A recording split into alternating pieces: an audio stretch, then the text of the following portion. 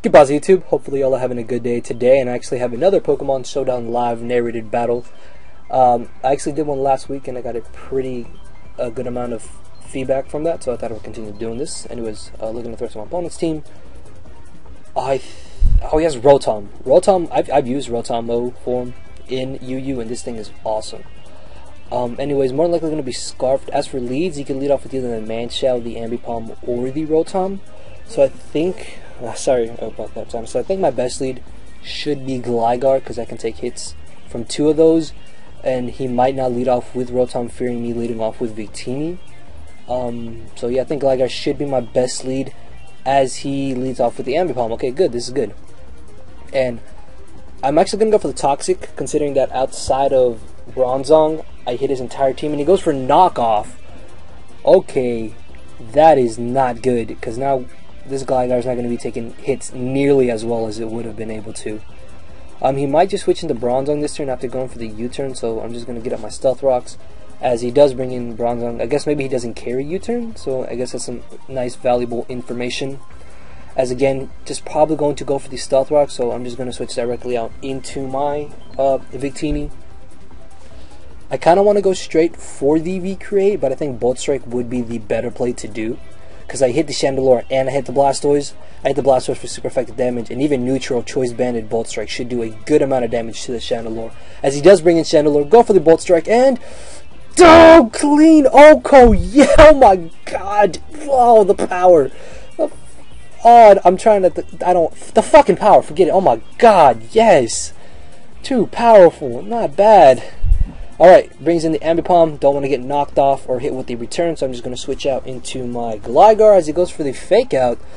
Um, I guess he didn't go for it first turn considering that he really wouldn't do anything to Gligar, so yeah, man! Oh, getting rid of that uh, Chandelure was just amazing. Okay, he brings in the Blastoise. Um, he might just go for the Rapid Spin, so I'm going to go for the Toxic as he does go for it. Luckily, because I get the Toxic, I can now wear it down but this also means I can bring in my own uh, spinner and go for that, considering that he did lose a Chandelure. I don't want to take a Scald, and even if he goes for Ice Beam, Roserade should be able to take both of those, as he does go for it, and he gets a fucking crit. so now they switch out to Rotom or Bronzong is pretty obvious. So I, I, have to go for the rest. I have to, have to go for rest. As he brings in the Rotom, I'm more than likely just going to be Choice Scarf because that's the most common set in UU, at least from the small amount of times that I've seen Rotom in UU. Well, Rotom Mow and Rotom Heat. Also, I used to run um, Scarfed as well. Uh, he could go for the Hidden Power Fire. I think my best switching will be Porygon 2. As he predicts. I don't know if he predicts. Holy crap! Okay. Okay, this man. Oh, this man, this man. This is a man right here. uh, uh, I want to bring in Gligar because I should still be able to take high jump kick considering that I do resist it. As he goes for that, look at that, 25%. I don't even have the Eviolite. Look at that Gligar. Man, disregard what I said earlier. Gligar still has some good ass bulk to it. But because he did reveal to me that he has the Ice Beam, I know he's going to go for that. Then again, he could also just go for the Scald, and if he does burn my Roserade, that could be pretty bad for me. Um, well, actually, no, it wouldn't be too bad considering I can just rest up as he pulls a double out into the Mienshao. The way he's switching around with it has me thinking that maybe he's choice banded. Uh, even then, I should still be able to take the possible uh, high jump kick and switch out as he goes for the U-turn, gets off a good amount of damage. Although I don't think that is uh, choice banded damage because that didn't do nearly as much as I thought it would. Uh, then again, there's a possibility that he is. I haven't run damage calcs with Mienshao, so I really don't know. I'm just saying what I think it is, so don't quote me on that. Um, the Gyro Ball is pretty obvious, but I can get up another layer of spikes before I have to go for the rest.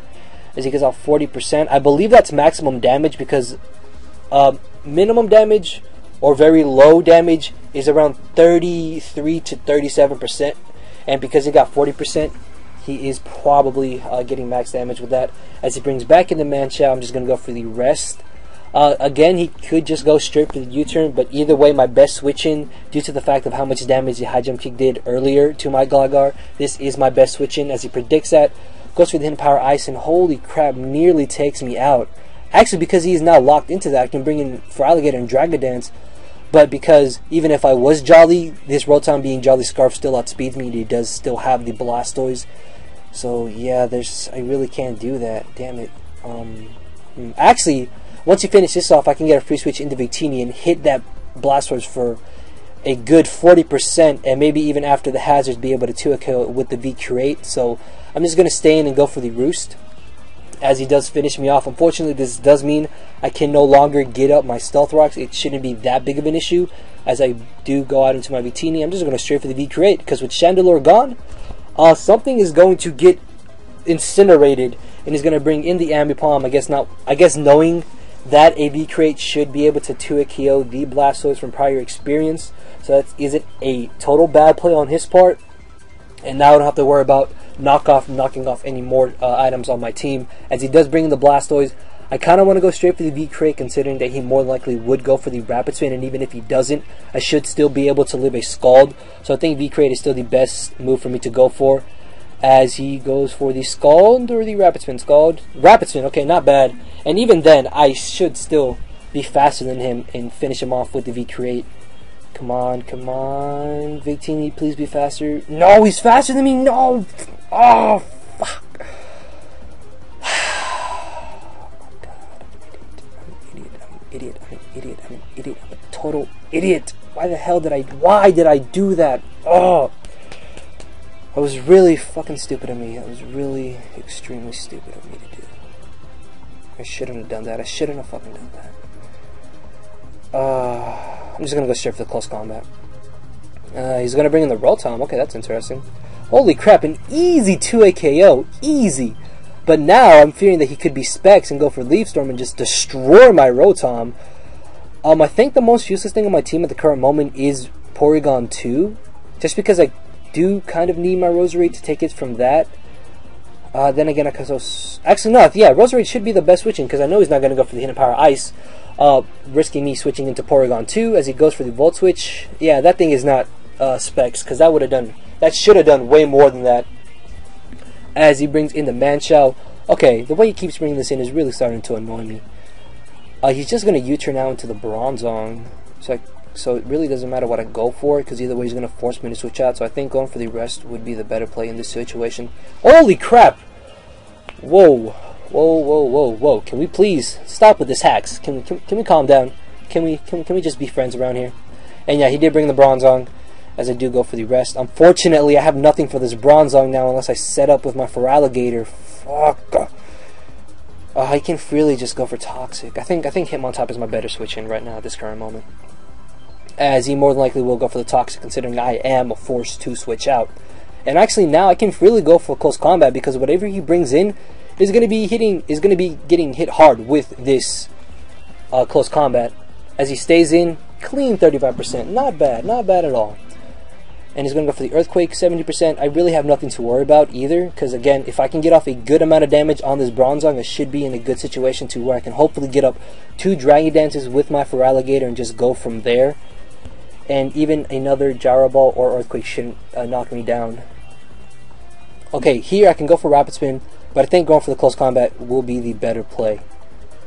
And please, actually, if he switches out into Mienshao, shouldn't be that big of a deal. As he lives on 2%, that's actually it's actually pretty fine. Uh, no big deal. Gyro Ball, unfortunately, with the combination of Toxic, will be able to finish me off. And I, okay, okay, okay. I could bring him Feraligatr, go for a Dragon Dance as he Toxic, go for one more Dragon Dance and go from there, and I think that should be the better thing to do. So yeah, come on, let's go. Let's go for, Feraligatr. My last chance, my last chance right here. Come on, I got this. I got this. He's gonna go for toxic. He's gonna go for toxic. Yes, yes. Oh, I got this. I got this. Come on, come on. One more dragon dance. One more dragon dance, and it should be in a good position to hopefully sweep him. Actually, no. I think going for one more would be the better play. Oh, come on, come on. Oh, should I go for it? Because that Rotom could still be faster than me. Yeah. Okay. One more dragon dance. All right. All right. This is the moment of truth. Do not crit me. Yes. And. Oh my, yes, is this really going to happen? Is this about to happen Feraligatr's about to put in some work? Yes, yes, yes. Clean take out the Bronzong. Come on, come on. Come on. Ah. Bring the Blastoise. I think Aqua Jet should finish it off. Yes. Come on, live the Toxic Recoil and... No! Ah, damn it. damn it, damn it, damn it. Actually, no, no, no, no. I should still be in a good position, actually, now that I think about it. Um, come on, come on. Uh, he brings in the man. The best move for him to go for is going to be the U-turn. And obviously, I can take those for days. So I should be able to freely go for the Sludge Bomb. Take out the Rotom.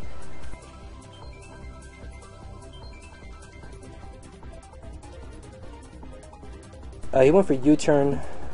And he did go into Rotom. Come on, Sludge Bomb. Sludge Bomb. He has to lock himself into a move. High jump kick. Come on, Sludge Bomb. No! Ah, come on. Miss, miss, miss, miss, miss. No. Uh, I think that's going to be game. Because I'm pretty sure Ro uh, Porygon 2 cannot live a hit. Pretty sure it cannot. Oh, I lived! What? Yes! Oh!